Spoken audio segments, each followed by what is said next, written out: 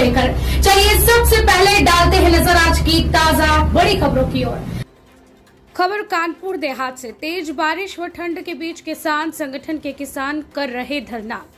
किसान संगठन के दर्जनों कार्यकर्ता व किसानों के नहर कोठी के बाहर किसानों के विभिन्न समस्याओं को लेकर बीते दो दिनों से अनवरत धरना चल रहा है। बीती रात से हो रहे रुक रुक कर बारिश।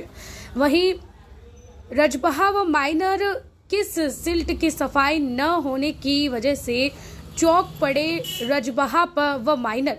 रजबहा व माइनरों की सफ़ाई के नाम पर नहर विभाग के जिम्मेदार अधिकारी कर रहे हैं खानापूर्ति पूरा मामला रसुलाबाद तहसील क्षेत्र के बेला रोड पर स्थित नहर कोठी का।